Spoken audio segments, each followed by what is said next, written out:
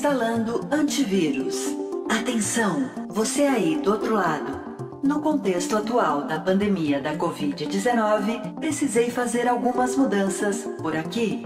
Pela segurança e saúde de todos os loaders e de suas famílias, vamos começar a fase 2 de uma maneira diferente da prevista.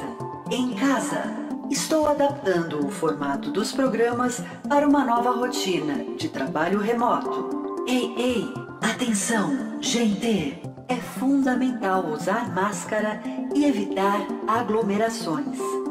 Sigo conectada e operante para entregar o melhor conteúdo para todos de maneira cidadã e responsável. Fim da mensagem. Se cuide e cuide do outro.